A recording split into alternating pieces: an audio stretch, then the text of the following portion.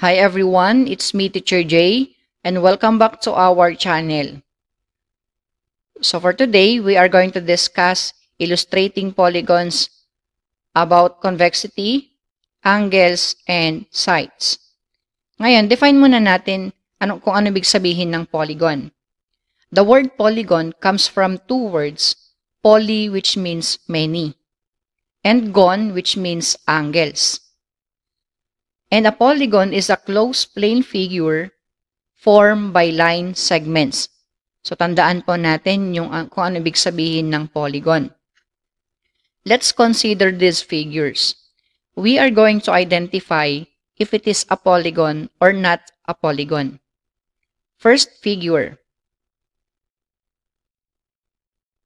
Itong figure na ito, this is a polygon. Close siya close plane figure, at the same time, meron siyang line segments. Next, second figure, this is not a polygon. Third figure, this is a polygon. Fourth, this is not a polygon.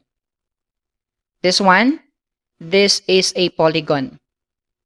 This one, tama ka dyan. This is a polygon. How about this? Tama ka. This is not a polygon. How about this one? Tama ka dyan. This is not a polygon. Why? Sabi sa definition natin ng, ng polygon, a closed plane figure. Eh, itong uh, figure na ito ay hindi close. So, this is not a polygon. So let's consider these figures or these polygons. There are two types of polygons. First one, these figures, this is what we call the convex polygon. What is a convex polygon? A polygon is said to be convex if the lines containing the sides of the polygon do not cross the interior and interior of the polygon. So, tandaan po natin eh, kung ano big sabihin ng convex polygon. Next one is concave polygon. So, ito yung mga concave polygon naman.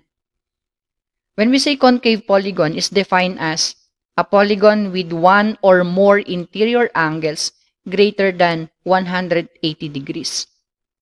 So, ayan po yung pagkakaiba ng convex polygon and concave polygon. When all the sides and angles of a polygon are equal, the polygon is called a regular. Ibig sabihin, kapag equal yung sides, equal yung angles po ng isang polygon, this is what we call regular polygon. Sir, paano po pag ano, pag uh, hindi equal yung sides and angles? Ang ibig sabihin nun ay irregular polygon po yan. So let's consider this uh, polygon. Ito ay isang example ng regular polygon. The segments forming the polygon are called sides. The points where the segments meet are called vertices. The angles formed by two adjacent sides are called the angles of the polygon. Polygons are named by writing their consecutive vertices in a clockwise or counterclockwise rotation. So, pangalanan natin kung anong, kung saan dyan yung mga consecutive vertices, saan yung angles, saan yung sides. Polygon A, B, C, D, E. Pwede, yun po yung uh, pangalan ng ating polygon. Pwede rin siyang polygon B, C, D, E, A.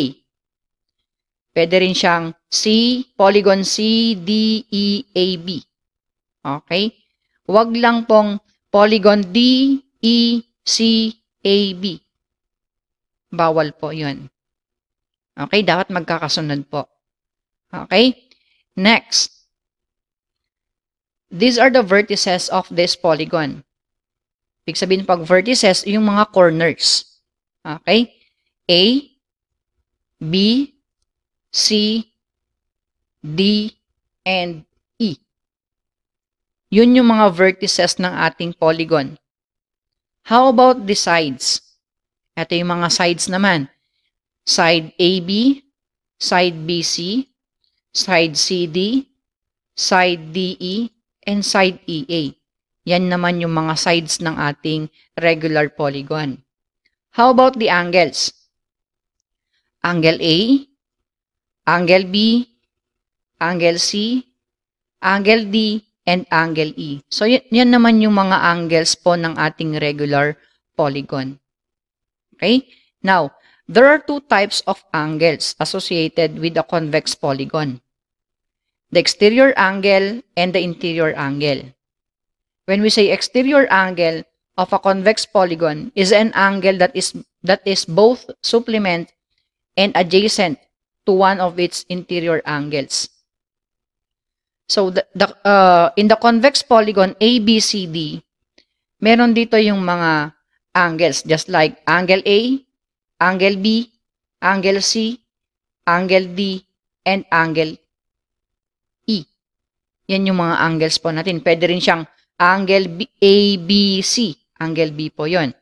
Angle B, C, D. Angle C po yung sinasabi po natin. Okay?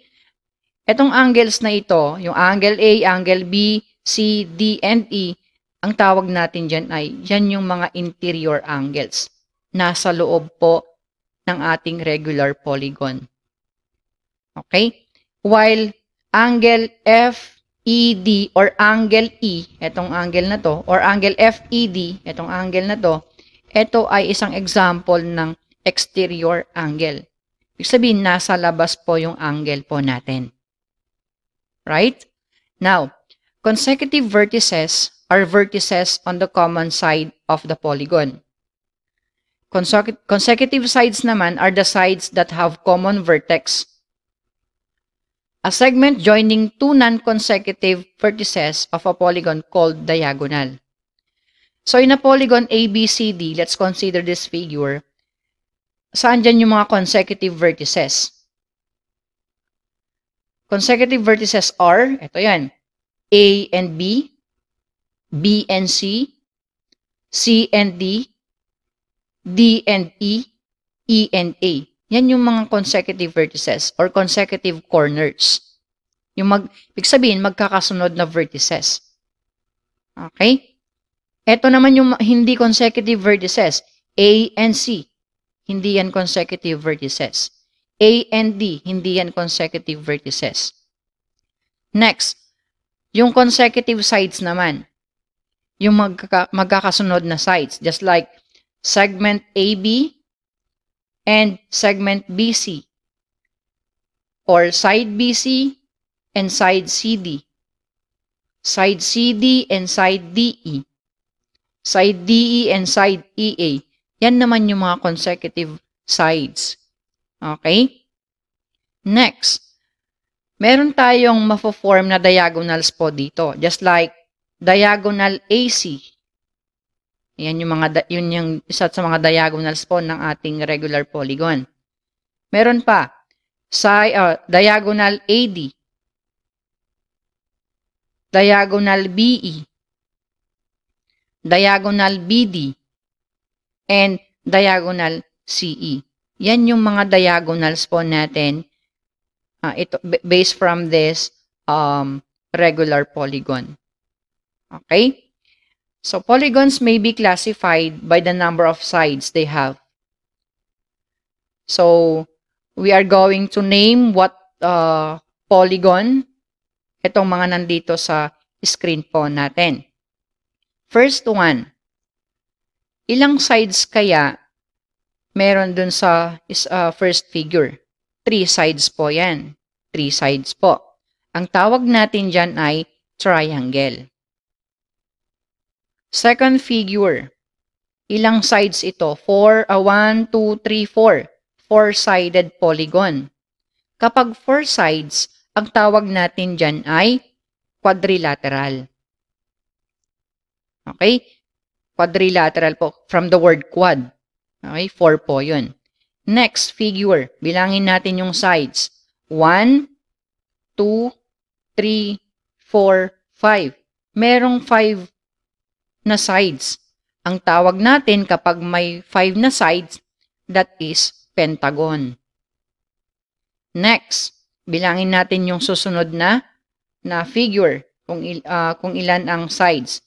1, 2, 3, 4, 5, 6. Six-sided polygon.